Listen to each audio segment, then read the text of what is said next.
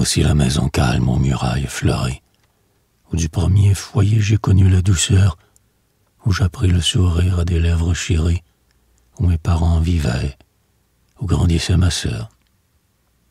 Pensive et par la mort, avant l'heure, touchée, ma mère y promenait un regard soucieux, et, comme un lit d'argent, sur nos têtes penchées, les baignait de rosée en nous parlant des cieux.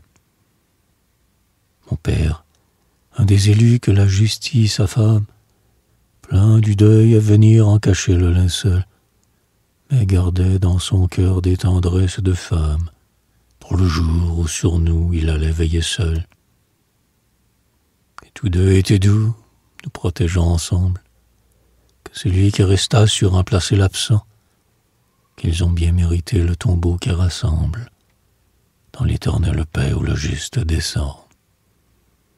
Ô vous qui de nos jours avez tendu la trame, hôte dont la tendresse emplissait la maison, ouvrier de l'argile où se pétrit notre âme, vous seul, vous nous aimez d'un cœur sans trahison.